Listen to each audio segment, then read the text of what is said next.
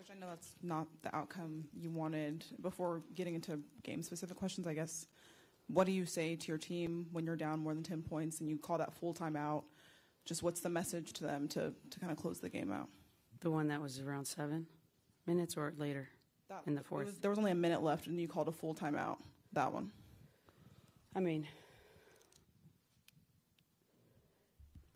I called the one at seven or around there because I felt like we were panicking a little bit, and seven minutes was more than enough time.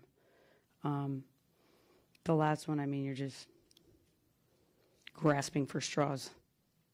So, um, at the end of the day, we didn't have it shooting wise. I thought we had good looks. We missed, and uh, and the layup thing started happening again in the fourth quarter. So, um, but you look at this sheet, you can't win against a team like that shooting 32%, 23 from three, like, and then get absolutely your ass is handed to you on the glass. So, kudos to them. They've been the best team all year. Let's be real. Um, you know, we needed we needed back to back really great games um, because their sense of urgency was going to be different. You know, so um, I think their gr- their group earned it. They earned it all year. Um, maybe just a follow up to that. Obviously, you said that, you know their group earned it all year, but you know your group, like you said, kind of fought through a lot of adversity, and you talked about giving each other grace. Is that kind of what the gist of the post game locker room conversation was like? Yeah, I mean, we're gonna we're gonna have a lot of hard learning lessons. I mean, it hurts now. I promise you, it's gonna hurt tomorrow. Probably worse because it sets in um, the next day. But you you got to build habits and you got to work in a way that you believe you deserve to win. That you've been you believe you deserve to win, and you know, at the end of the day, I thought, you know, our our shortcomings stood out a little bit. Um, and we have some great things to build on. You don't have it every year. It's not the way this works. You don't get to flip a switch. It's the beautiful thing about sports, actually. The work and the commitment and the buy in and the play hard and the want to and the will will always show up in the end. And um, like I said, New York's had really great will and determination this whole year. We talked a lot of smack last year. I'm sure they heard it, and they got to smack us this year. So, um, for us, we will have a long off season, and for us, we will be back next year. And I'm sure the focus level will be very different. I can pretty much guarantee that. Becky, kind of going off that point, how do you think you're going to look back on this season? Is it obviously Functional Championship is is that the primary thing that stands out, or is there positive? No, I mean, yeah, there's absolutely positives. First of all, I love that group of women. I do. I care about them. I care about getting the best out of them. I care about when they're hurting. I care about them when they're great. I care about them when they're not great. Um, so, is there learning in the losses? Of course, there better be. There better be, or you don't get to grow. And you know, I'm really proud of this group because even you know my coaching staff and everything like we've we've changed the way this league plays, and that's something that our team can be like proud of. You know, sped it out, we sped it up and spaced it out, um, and now everybody's you know I think it's been great for our game. Um, you're seeing a lot of really great individual like not only team but just great individual performances. I mean. Phee had a hell of a year. A'ja obviously was A'ja and was out in another universe this year, but you really had a lot of other people. Um, Stewie, so, I mean, the, it's a fun way to play. I think. Um, I think it's entertaining to watch, um, and you know that that core four in our group that we brought in, like they they started that, and um, you know this team was put together to take us out and they did. Becky, from an organizational standpoint, what do you think needs to be done in the, the offseason? Um, ask me that in a week. I'm still reeling about this game. I haven't sat there and said, gone through what we've never done exit meetings. We've done exit partying. So we're going to have to get together, um, figure it out. But I mean, obviously, we, we, we have to get better. We have to really take a, a sharp look at ourselves, look ourselves in the mirror, see our shortcomings, and then, you know, you got to make the moves necessary, whatever that means, to put the best product that we possibly can. It's not going to be the same group probably next year. It just won't.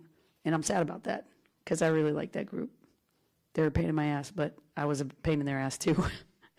and I like that group. You know, I love that group. Um, I, I guess a lot of it, what what what hurts now too, is just with A'ja. Uh, you know, having the season that she did.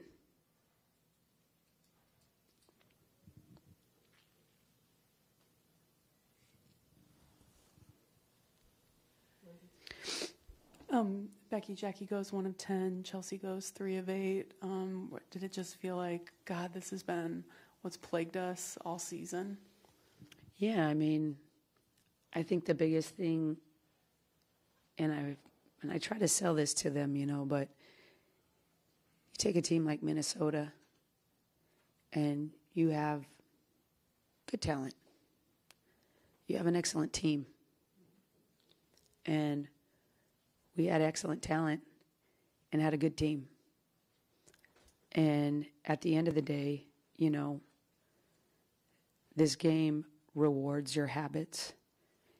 It rewards the hard work. It rewards the selflessness required in a team sport to to be able to win. Um, and what I've always tried to convey to this group, you know, specifically with our with our guards, right? Um, Chels, Kels, and, and Jack, you know, their success is so intertwined with each other's. Their individual greatness comes from them being great together. And a little bit of iron sharpens iron. And, um, you know, you take Minnesota, you know, last year, those three are flirting with 40, 50, 90. I mean, they didn't miss very much. And we just didn't shoot the ball well this year. And I guess when you go back and look, um, it's like, yeah, we changed the way the league plays a little bit with, the spacing and then the the lot of threes, the high volume threes, this and that, and then it kind of hit us back in the face because we're still taking the threes, but now we're missing and everybody else is making. so, um, but that that four that that core four, and you could put AC in there. She's been with us a couple of years. Sid, Kia, um, even KB, like that group loves KB. This year didn't actually probably work out the way she wanted it to. She got injured early and kind of got behind the eight ball. Um, you know, like I said, I you know don't throw the baby out with the bathwater. There's a lot of good things that we can build on, and at the end of the day, I choose that locker room every time. I choose those those women every time, and I'm I'm proud to be their coach. Two final questions. We're going to follow up from Callie and then Nikias in the back. I just wanted to circle back to something you said about talking a lot of trash last year, and uh, Stewie kind of alluded. Can we to not that. circle back on it? Well, I'm. I Just think it's circling well enough right now. Do you, but is there anything you want to address about maybe anything you said or like what you heard the team said that you feel like needs to be addressed or was maybe? No, I mean, we talked our crap. They heard it, and they get to talk their crap. It's part of the game. It's not like personal. I can talk crap all I want. At the end of the day, I have mad respect for A. Sandy. Sandy coached me. Me and Sandy go way back. Saab, Stewie. I have mad respect for those players. There's no doubt about it. Um, it may seem like I have something, but it's like, of course, I'm always going to ride with A'ja, so it maybe seems. I think Stewie is phenomenal, phenomenal. Um, you know, and Saab, like I told y'all, I don't know who's voting first, second, third, or when that stuff comes out, but like, if you're watching and paying attention, she she's she's the key. She's the key, and you know, Stewie's going to go down as one of the greatest of all time, and Sot will too.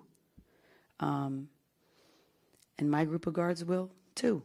I mean, you really have a really unique situation where you have a really bunch of brilliant basketball players competing at the highest level, kind of like in ways all in their prime still. Um, it's a really unique situation. And then you have this younger influx of of the rookies, and you got Juju coming out, and you got the Hidalgo kid from Notre Dame. Like it's good. Is women's basketball is a lot of fun right now. Final question.